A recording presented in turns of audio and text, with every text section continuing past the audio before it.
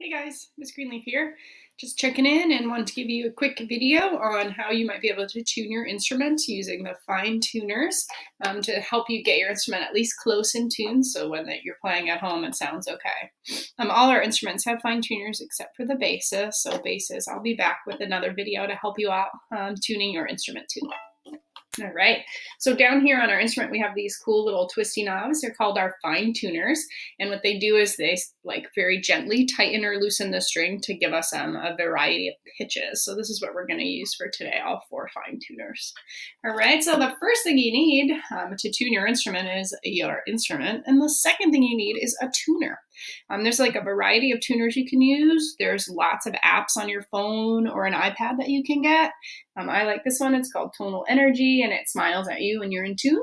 Um, but there's also a free tuner on the Smart Music application, which I'm going to show you uh, right now.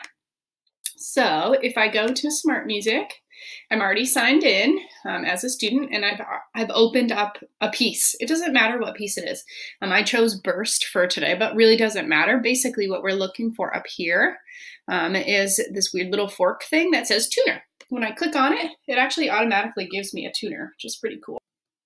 All right, so the basic idea is I'm trying to get my strings to show the correct letter over here where it says concert pitch, and I'm trying to get this arrow right here to be right in the middle. If this arrow is over towards the left, it means our strings are speaking too low, they're flat, and we need to raise the pitch to get them correct. If the arrow's over here, the opposite is true, the strings are too high, so we need to lower the sound of the, of the pitch in order to get it correct. It's kind of like a game, basically, trying to get the arrow to just land right in the middle. The first step, though, is always making sure that the correct letter of your string is coming up right in the middle here. We want to make sure that if you're plucking the A string, it says A. Okay, we'll go over that in a second. So basically, um, these fine tuners here, if I turn them clockwise, right, I'm going to raise the pitch. So if my arrow is over here, I'm going to turn the, the fine tuner clockwise and it will bring it up. If my arrow is over here, I'm going to turn it counterclockwise and it will bring the pitch down. Okay, so I'm going to try to show you. For me, I find it easiest to pluck the string while turning um, to help me make sure that I don't go too far or too little. Okay, so I'm going to twist my instrument slightly towards me, just like I do when we are tuning in class. And I'm going to pluck the A string And you might notice my arrow here is to the left, so my A is flat. So I'm gonna take my fine tuner, I'm gonna turn it clockwise, about like a quarter of a turn. Don't turn too much too soon, just small turns while I'm plucking.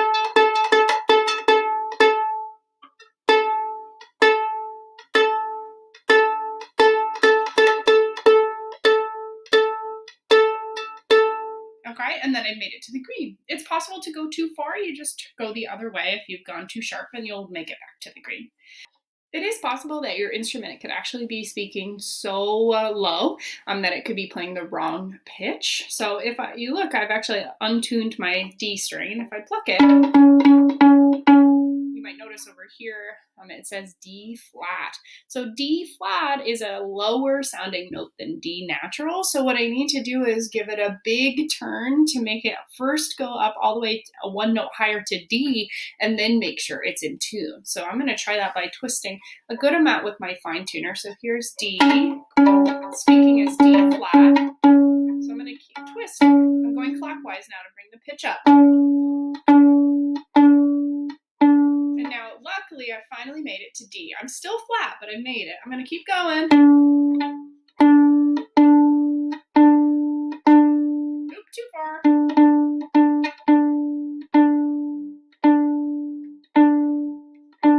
And now I'm in the green area, and that's pretty good. Okay, so that's what we're looking for for all three. You can do the same if your note is too high. You can always bring it back by going counterclockwise on the fine tuners. Okay.